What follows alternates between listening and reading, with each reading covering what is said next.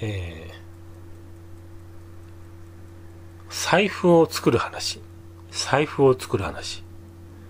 えー、趣味でレザークラフトをやってまして、でレザークラフト、いろんなものが作れるんですがも、まあ難しさで言うと一番難しいのが財布だと私は思ってるんですね。一般的に作られる小物の中で一番難しいものが、えー、財布だと私は認識してます。えー、なぜかっていうとですね、根拠がありまして、まずお財布っていうのは、ある程度の強度が求められますね。使ってすぐ壊れちゃ困るから。えつまり、使う時に強く引っ張ったりすることもあると。たまにはね。うん。だ置物の小物のように、強度なんか関係ないと。え形さえできてればいいっていうものじゃないから。引っ張ったりね、えー、しますから、お財布の場合。どっか引っ掛けたりね、しますから、だから、強度が求められると、まずはね。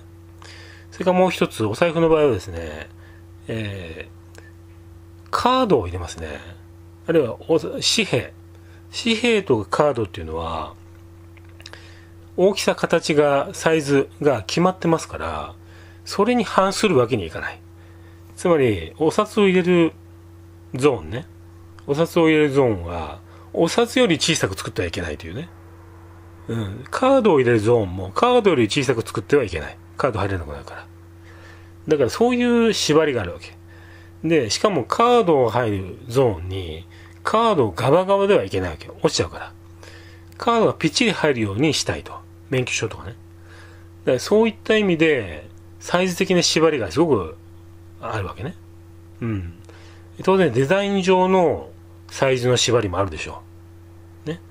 だけど、まあ、とにかく機能的なもので、お財布の中では、お札と、おカード、まあ、コインケースっていうこともあるんだけど、コインのね、サイズもあるんだけど、まあ、とにかく、それは絶対に外してはいけないポイントであると。でもこれ何が言いたいかっていうと、感覚で作れないわけ。後でここ削ろうとかね、ダメなわけ。型紙段階でしっかりと、寸法を詰めなきゃいけないわけですね。ここ縫えるかなとかね。ここは余白3ミリでいくぞとかね。きっちり作って、えー、型紙段階でやんなきゃいけないね。で、今ね、型紙をね、作ろうとしてますね。はい。えー、ちょっと、今まで作ってた、持っていた財布、これ自分のハンドメイドでレザークラスで作ったんだけど、本側のね。これがね、だんだん古くなってきて、まだ使えますよ。破れてないし。まだ使えるんだけども、まあ、ちょっとね、もう1年以上使ってるし、そろそろ新しい、えー、財布も作ろうかなと思ったんですね。でね、このね、今も、今使ってる財布は、もちろんレザークロスで自分で作ったんだけども、まだね、技術が未熟な時に作ってるんですね。うん、初期の段階で作ってます、これ。えー、だけど、さらにですね、その時使っていた財布が壊れたので、レザークラフトで自分で財布を作ってみたんですね。緊急で作ったわけ。そうですね、期間は1、2週間だと思います。で設計段階から全部含めて完成まで1、2週間で作ってたもんですね。だから、素早く作っちゃったんで、結構妥協点がいっぱいあるわけね。ここやりたかったけどできないねとかね。まだ技術がないからできないねとか。それから、失敗しそうだからここはやめとこうとかね。とにかく、お札とね、コインとカードがギリギリ入ればいいみたいなね。見た目とかもそんなに良くないし。だからね、まあ気に入って使ってはいるんだけど、ちょっと不満点もいろいろありまして、だけど強度だけはありますね。やっぱり本側でね、自分は縫って作ってるんで、強度抜群ですね。全く破れたり壊れたりすることはない。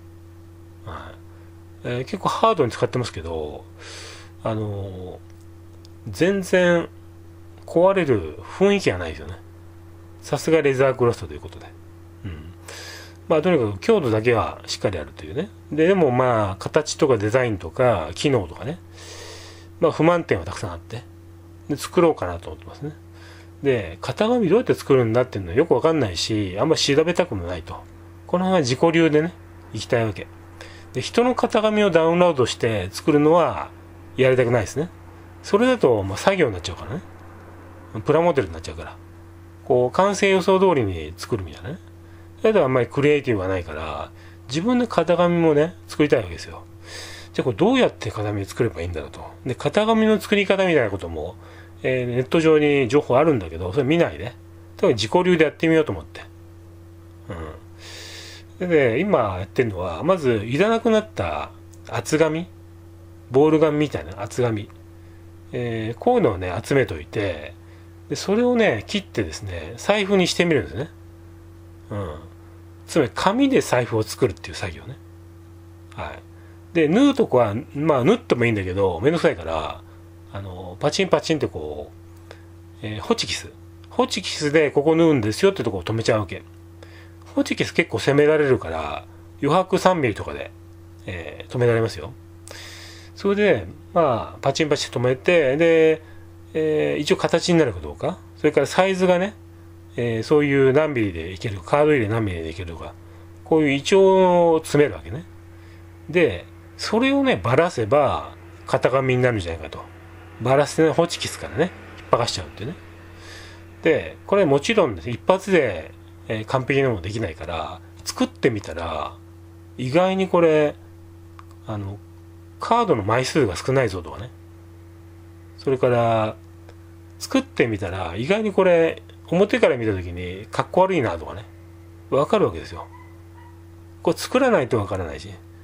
あるいは作ってみた段階で、なんか型紙の数すごく増えちゃって、これ非常に複雑になりすぎてダメだとかね。あんまりね、複雑な工程になりすぎると、失敗する可能性どんどん上がってくるからね。うん。まあ、でもまあ、あの、財布のいいはいいのはね、使ってる革の量が少ないんで、時間と手間さえね、犠牲にすれば、何回でも作り直しできるわけですよ。つまり素材のあの量が少ないから安いっていうね。これがね、バッグとかカバンとかね、でかいもの作るときは、こう失敗したら全部無駄になる可能性もあるから。うん。なんか寸法間違えて切っちゃったりね。は、致命的だから、だから、怖いんですけども、財布の場合は、あ作り直しが可能なんでね、いいんですけども、まあとにかく、それでもね、やっぱり事前にサイズとかをしっかり詰めないと、失敗したしましたじゃダメだからね。から今、ボール紙でね、5、6個、財布が、紙の財布ができてますよ。で、その中でいろいろ試行錯誤して、あの、作りたいんですけどね。で、長財布と、あの、ハーフウォレットってありますね。半分の二つ折り財布。これどっちにしようかなって最後まで迷ってるんですけども、私はね、趣向としては長財布がいいと思ってですね。長財布。で、バイカーズウォレットみたいな、あハードなやつがね、せっかくこうレザークラフトで作るんだから、バイカーズウォレットみたいな、あハードなやつを作りたいんだけど、あの、バイカーズウォレットは、あの、主にヌメ革みたいなの作るので、私まだね、ヌメ革のね、扱い方いまいちよくわかってなくて。で、あの、コバの処理とかね、わかりますけど、こう、まだ技術が足りないだろうと。ヌメ革をね、扱うには。で、あの、まあ、そんなわけでね、あの、二つ折り財布をね、作ろうと思って